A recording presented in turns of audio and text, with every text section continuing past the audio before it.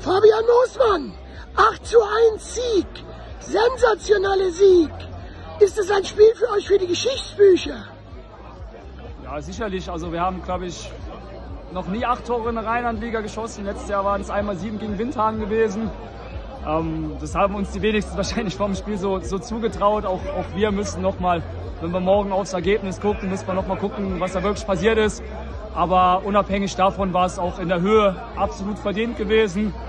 Und ähm, ja, wir haben auch die Möglichkeiten gehabt, um noch drei, vier, fünf Tore zu schießen.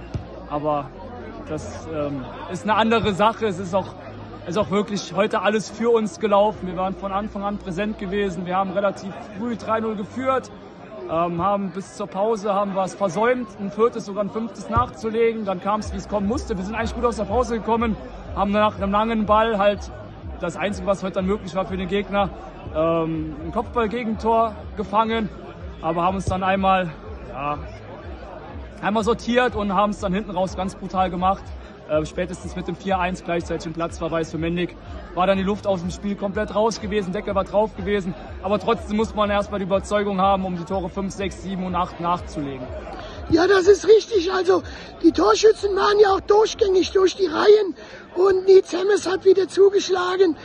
Ähm, es war exemplarisch fürs Spiel. Mendig hat bei dem Ehrentreffer gar nicht gejubelt. Ähm, was war überhaupt los? Oder war der so stark?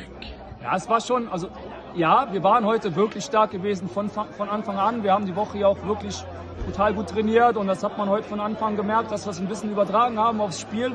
Aber, und da gebe ich dir recht, ähm, gerade Mendig mit, mit der Erfahrung, auch mit, mit vielen Typen in der Mannschaft drin, die schon lange auf dem Niveau oder höher mit dabei gewesen sind, ähm, waren verbal unfassbar ruhig gewesen. Da ist ganz, ganz wenig von denen gekommen und das hat uns natürlich irgendwo in die, in die, in die Karten gespielt. Da kam wenig Aufbäumen vom Gegner.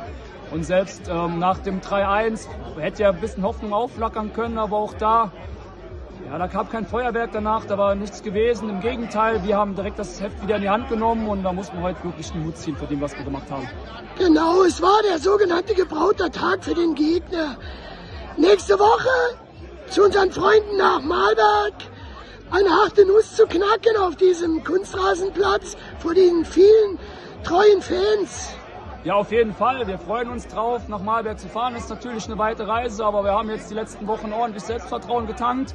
Ähm, wir haben mittlerweile auch einen, einen, ordentlichen Kader wieder zusammen. Das merkt man im Training, das merkt man bei den Spielen. Vor allem, wenn der Konkurrenzkampf da ist, dann müssen noch alle 100 Prozent liefern, weil die anderen hinten dran schon auf ihre Chance warten und das auch wittern. Und auch heute die Jungs, die wir reingeworfen haben, haben das genauso gut gemacht wie die, die vorher drin gewesen sind.